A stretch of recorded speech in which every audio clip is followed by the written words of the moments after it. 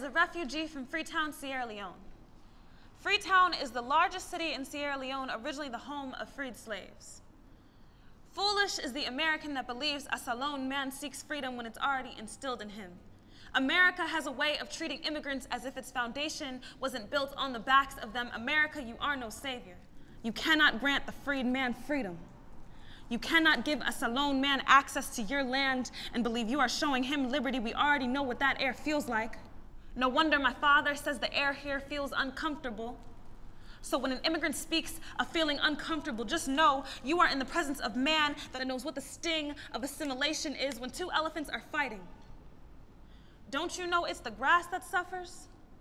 So when these four fathers fought and killed the people that originally owned this forsaken land, just know it hasn't recovered since. This land still echoes their screams. This ground has only been used as imprisonment. Its constitution is the world's greatest captivity narrative, and it's still being written. We got wannabe politicians saying they want to make America great again, but have you ever known America to do anything for the foreign man? America, this land is just as foreign to you as it is to my father. So I will speak. Do you hear me?